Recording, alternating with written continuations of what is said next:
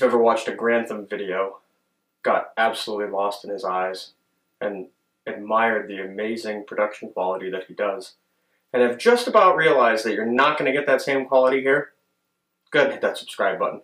Like and comment so we can get this page going so I can bring you more stuff. Um, today we're going to be doing a one day build. Uh, what we're going to be doing is uh, doing a rough camo paint job on a Safariland holster.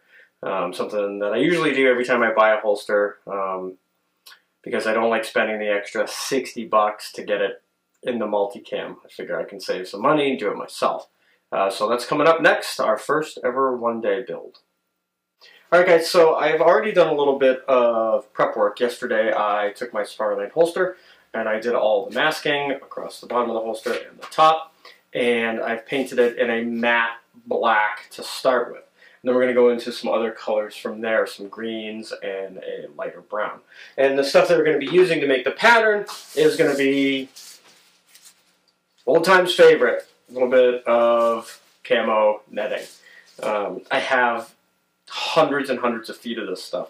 Um, and I have one little square piece, so I'm going to go ahead and cut um, a good chunk out of this and uh, lay it over the holster and spray a coat on.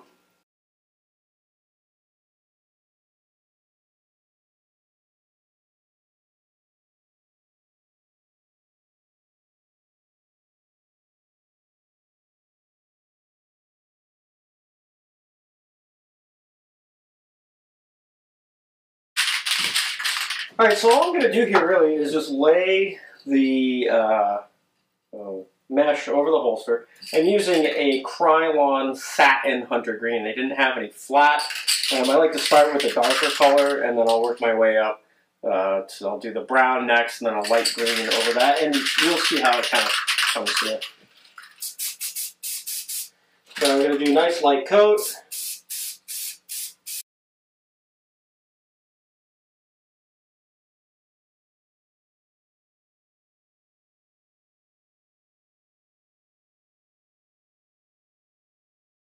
That's good. And then we'll take off the bits here. And dry, and then we'll hit it with our with the hair dryer. That just helps to dry the paint a little quicker. If you, if you don't have a hair dryer uh, in your shop and you do a lot of painting, get one. It saves time. Um, and for somebody who's uh, impatient like me, time is key.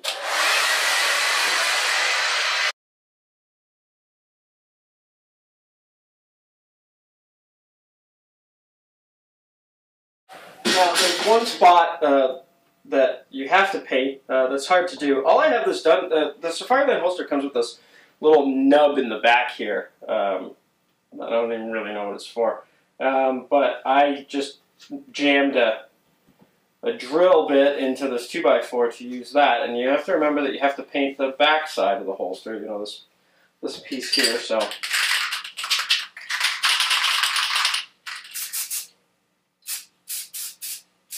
that. A little heavier than I wanted, but that's my fault. Take that back off. Hit that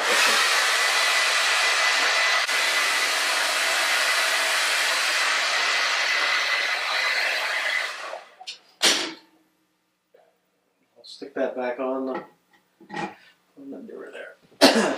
All right, so I, I, wanted the tonality to be a little bit, if that's even a word, uh, to be a little different on this. So I got this um, burlap pattern at Walmart. It was really cheap. It was like two bucks. And I, I think i have cut some little slots and holes in it and pulled it apart a little bit to make it a little bit more random. I think what I'm going to do is I'm just going to lay that, you know, over the holster like this, and then I'll hit it with the with the brown, uh, just so I don't get, and I want a different pattern breakup, kind of making something different here that um, not everybody has the same, you know, colored pattern holster or whatever. So we'll see how that works out. All right, so I'm going to use this um, darker brown, well, it's not a dark brown, it's more of a sandy color, um, uh, Camouflage Rust-Oleum Ultra Flat, and uh, see how It's not a bad color. We're gonna hit this just real light. And see what that gives us. Oh yeah, that's that's absolutely wonderful. Wonderful. Yeah, I like that. It's not a super pronounced pattern. Um, that's good. The problem that I find with the Rust-Oleum is that it it kind of goobers a little bit more than the other paints, like the Krylons. Um, they don't dauber as much when they come out of the... That is quite nice. it's more like a little speckled tiger effect. That's really nice. I like that. So we'll put the brown away, hit that with our heat gun.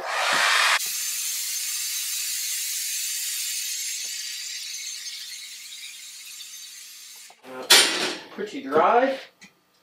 Flip it over to the back. See if I can get it.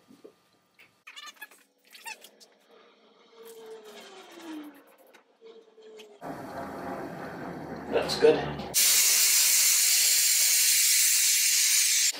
And that's uh, pretty much how we're going to go from here. I'm going to do uh, now that I've done the brown, I'm going to do a coat of this uh, Italian olive uh, Krylon paint with the mesh again. And then I may do, uh, we're going to alternate the pattern so that lays a little bit different than the others. I'm going to hit it with this, and you guys are going to get to watch probably a little time-lapse video.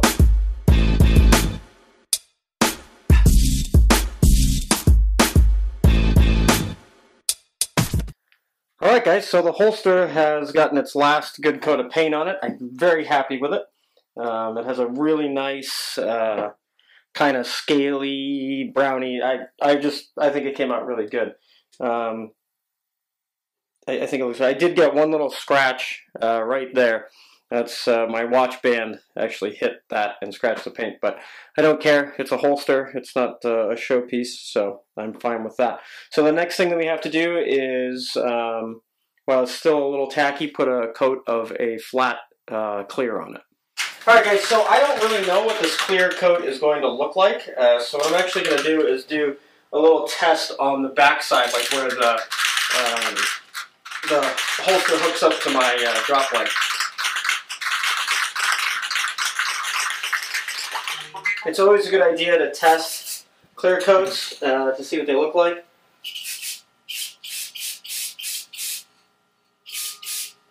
So I hit that.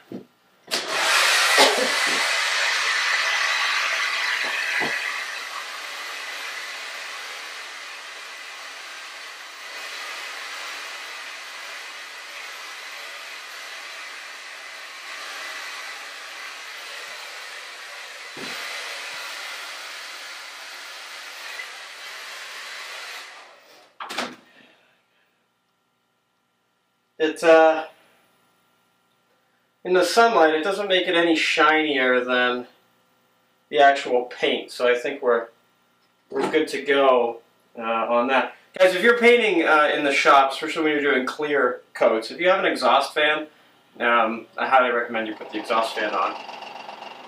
Like that horrible noise you hear in the back, my 1955 Craftsman exhaust fan.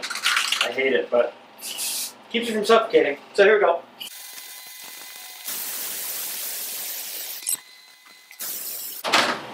We'll put the screws back in because they're painted as well, even though we're never going to see them. My little easy bake oven. Right over the top of that. A couple pieces of tape to hold it back down.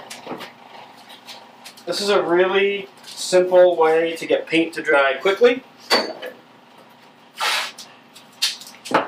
You want to just take a cardboard box. Sometimes the bigger the box, the better. Um, I just didn't happen to have uh, a large cardboard box down here. All I have was uh, this guy. So cut a hole in the side so that the heat can uh, escape. I put some tape over it, just like you would on a forge or something to kind of maintain a good temperature. Take your hair dryer, cut a circle in the back, jam your hair dryer in. I like to put the hair dryer so that it's facing more like up, so it kind of washes around, and put it on low. And let that go for about uh, 10 15 minutes or so. Alright, so um, I've taken the masking off of the holster. Um, there's no paint on the inside, thankfully. Uh, everything looks really good. Um, always take your time when you're masking. Um, I hate it. Nobody hates masking more than I do. So take your time and do it right because you don't want a bunch of, you know, nasty paint on the inside of your holster. Um, I think it came out great. Um, I'm going to take some still photos of it and uh, put those along with while I'm talking here. Uh, looks very cool. Again, the paints that I used were the Rust-Oleum Camouflage 2X Ultra Cover um, in a tan, light tan sand color maybe. I used the Krylon Color Master Satin Hunter Green and the Krylon Color Master Satin Italian Olive. Um, I live in New England, so there's no need for me to be painting everything brown and deserty um, because that's not where I live. Um, and it's a good tip to remember when you are painting camouflage. Go outside and look where you live, or if you're in the military or you're a private contractor, where are you going to be going? Um, camouflaging is one of the simplest things to do. A lot of people get, you know, overworked and they do all this you know, crazy multicam stuff and um, simple tools like, you know, spray paint, uh, you know, camouflage tarping, and some burlap, and you can get a really nice broken up pattern that'll hide you uh, pretty well um, in the environment. So not quite a full one day build today. It took about uh, two hours just to get to this um, stage. And um, so that's it for now. Um, hopefully we'll be doing another one of these one-day builds uh, in the very near future. Um, if you have any questions, please comment down below. If you have any criticism, comment down below. Um, or if you just want to ramble on about nothing, comment down below. Also be on the lookout for our target frames that will be coming out very shortly. Um, I've done the prototyping. Um, I'm just waiting on uh, doing a little bit more testing before I actually release them. There's a little bit of tweaking and stuff that I have to do. Um, so that's pretty much it, uh, it for today. So until next time.